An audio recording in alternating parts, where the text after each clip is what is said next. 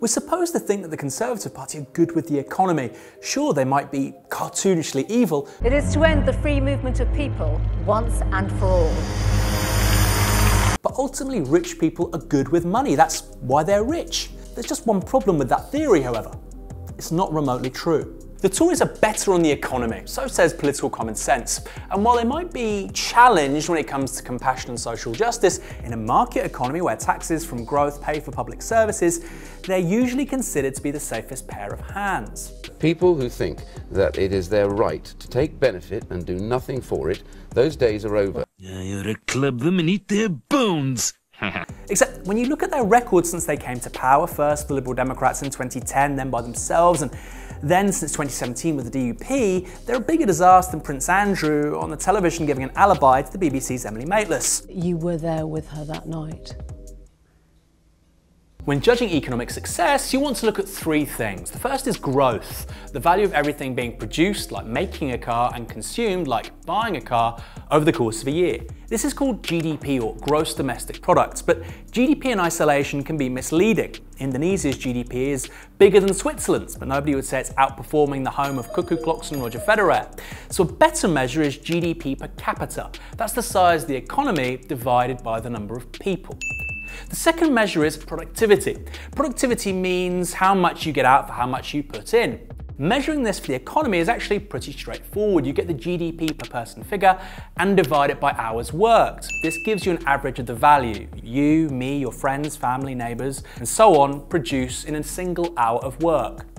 Then there are wages. For much of the 20th century, rising productivity meant rising wages, meaning a virtuous cycle which, in effect, made everyone better off. The economy was more productive, meaning workers benefited more from a larger expanding pie. Ride with the young adults who are buying 70% of all homes sold. Except over the last 10 years, specifically since 2010, that's not been happening.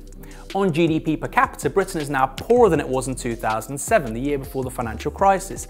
In fact, it's around $7,000 poorer per person and this is from 13 years ago. Now, in fairness, we can't blame the Conservatives for the financial crisis. And it's also important to say we can't blame Labour either. What they did was a bailout so big that in effect it saved capitalism. Don't take my word for it. Here's Congressman Paul Kanjorski speaking on American television in early 2009. Would have collapsed the entire economy of the United States, and within 24 hours, the world economy would have collapsed. It would have been the end of our economic system and our political system as we know it. So, given all that, let's start from 2011, one year into the coalition government. As you can see, GDP per person is only slightly higher now, eight years later, than it was then. And it's in fact lower than in 2013. Put this in historic perspective, and you see the problem is pretty significant. This is a level of economic stagnation that's never happened before. During the 1970s, often used as an example of economic calamity, GDP per capita tripled. Labour taking us back to the decade of flares and fish fingers with pineapple? We should be so lucky. The reason for that is productivity, output per person per hour worked. This is related to GDP per capita because without rising productivity, you can't get rising economic growth. Here as well, we've seen stagnation for a decade. That means an average hour's work today, despite improving technology, isn't producing more value than it did 10 years ago. Indeed, Britain's productivity now is more or less the same as it was in 2005. That's 14 years ago. Again, it's important to be clear about this. This has never happened before. It's unprecedented since the light bulb, the Napoleonic Wars, the invention of capitalism, even the first season of Friends.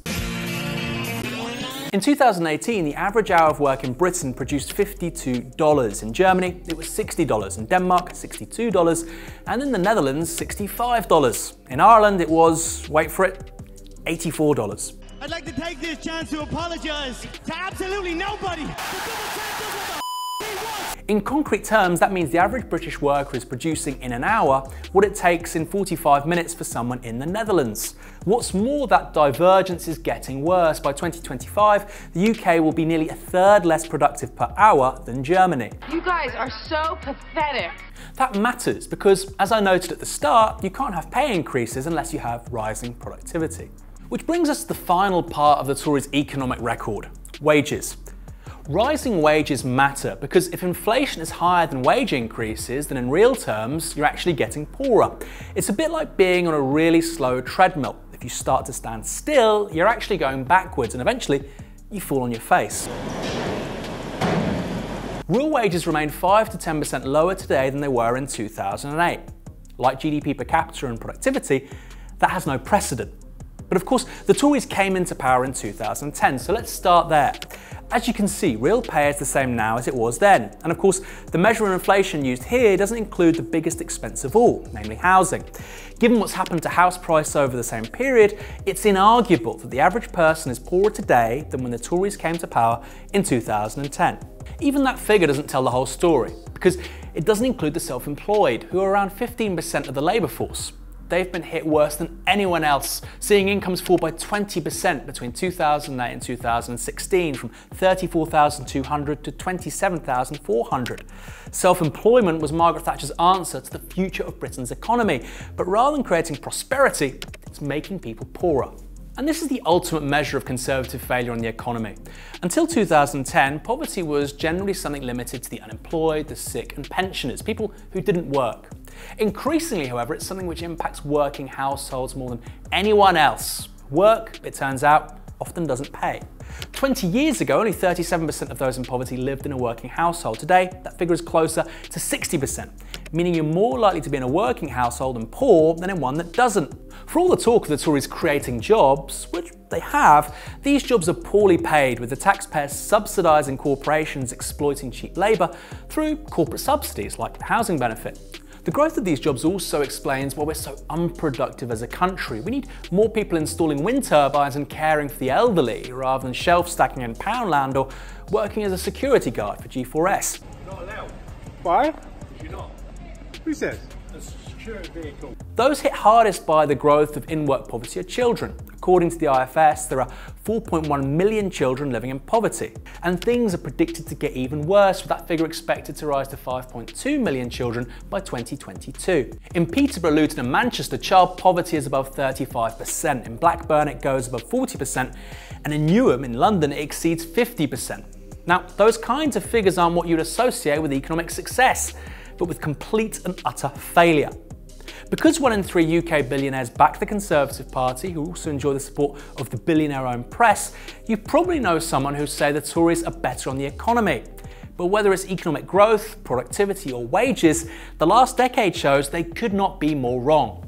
Trusting the Tories in the economy is like expecting the Liberal Democrats to not lie on their leaflets or Nicky Morgan to be decent with basic mathematics. 50,000 more nurses if you look in 10 years' time than there are no, today. I know you keep saying and that. More than 2 million people using food banks since 2010 and 700 homeless people dying on our streets every year is an accurate reflection of what is happening and it's being overseen by the most economically incompetent government in British history. The hospital's generator is about to give out. Lives will be lost. Lives lost. Go on. The PR and big money donations of the billionaire class can't conceal that forever, because reality, somehow, always finds a way of catching up.